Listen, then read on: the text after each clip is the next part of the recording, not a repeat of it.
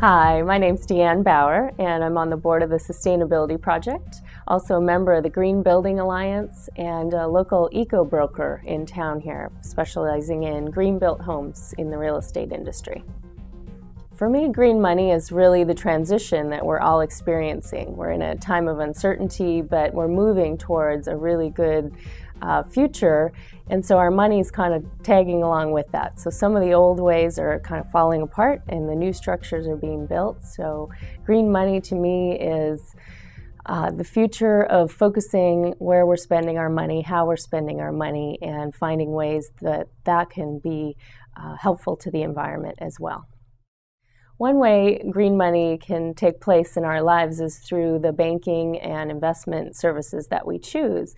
And when I was researching this, a lot of what I found were the existing models of credit cards and banks and uh, investments are all uh, available now and with a consciousness towards the environment. So we can choose credit cards that now uh, give 1% back to 50 causes that you can choose which ones. Um, banking is very interesting. I think local banks personally are a good way to go. And one of the things that I found was a local bank here in Santa Barbara, the American Riviera Bank, um, actually, because they're new, have the newest, latest technology.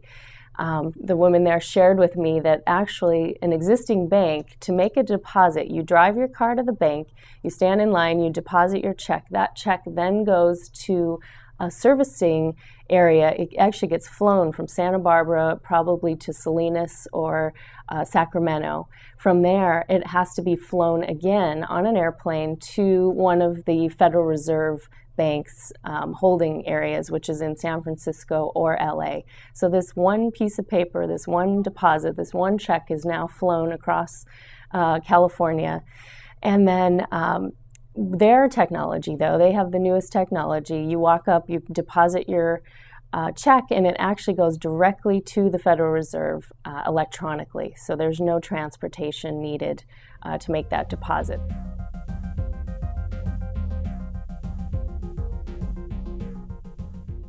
Another way to encourage uh, green investing is uh, your 401k money.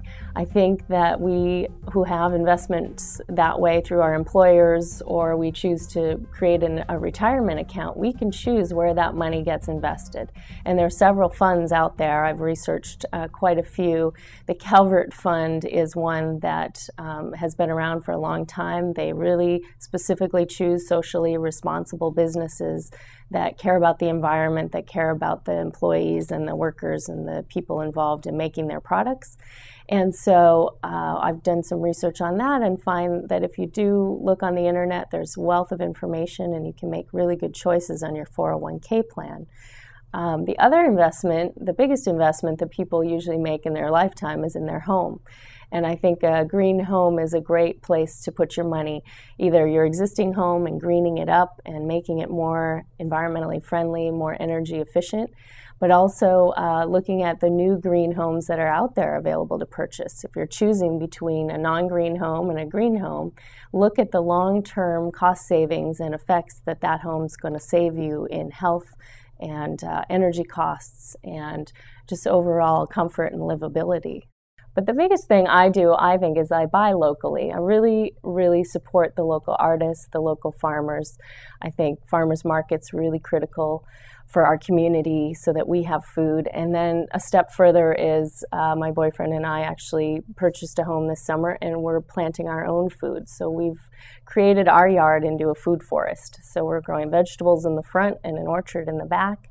And uh, really excited to have our own organic food, you know, right at home.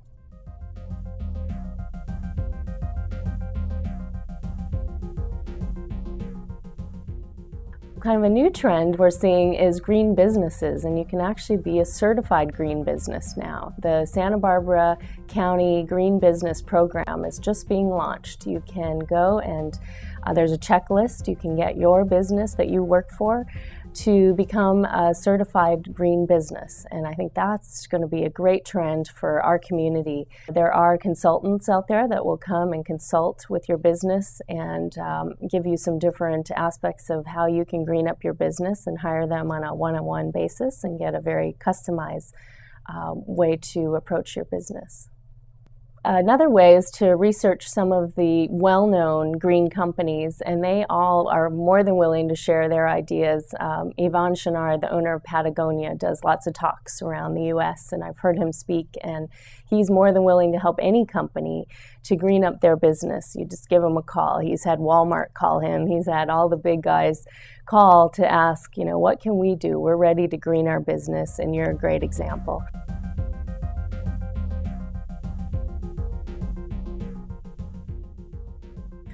I think we're moving towards a period of time where green jobs are um, they're going to be available, but right now I think it's a time to be creative. If you're interested in green and you're interested in creating a job for yourself, that's what you need to do. You need to approach your employer and take an existing position and make it a green focused job. So, in my business, I guess my example is realtors aren't t- typically um, that well versed, but we've got a program called Eco Broker that actually trains us how to talk with our clients and our customers about energy efficiency, healthy homes, how to um, you know, conserve water, those type of issues. So, you know, you can take an existing, you know, accounting position and try to find ways to make it green. Lots of ways to do that within your own job currently is just be more responsible with recycling and paperless and, you know, email is, is really the best way to keep down the amount of paper and storing your files on your computer.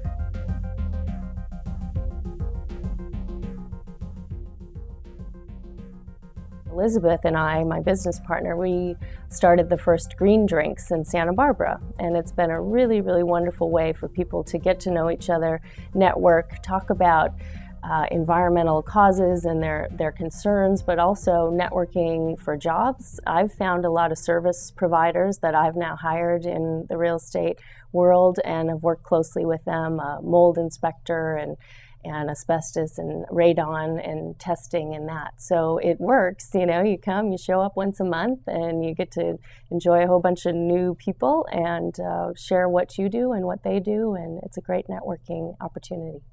If I was to recommend three things, three steps you can take towards screening your money life part of your life, anyway, your lifestyle, I would recommend uh, start with uh, considering moving your banking to a local bank and one of the ones that can do the direct deposit that is not going to transport your deposits every day on an airplane for many miles. So I think that one's really critical. Um, I also think uh, local, you know, supporting our local artists, our local farmers uh, supporting local businesses, restaurants, uh, those that are keeping our community going and that are close. But the third thing is is we're a local community, but we're also a world community, and I think that we need to be helping and supporting those that don't have as much as we do. And another uh, aspect there is um, is a brand new group in town started a micro loan program, and these are loans for uh, disadvantaged women over in Africa, and it's called uh, Bank of Hope, H O P E and I can get more information to people about that. But uh, just small loans to women to start little micro businesses, and that's going to be the grassroots. If everyone in the world is prospering and is not, you know, struggling and starving, I think we're going to have a world we're all really proud of.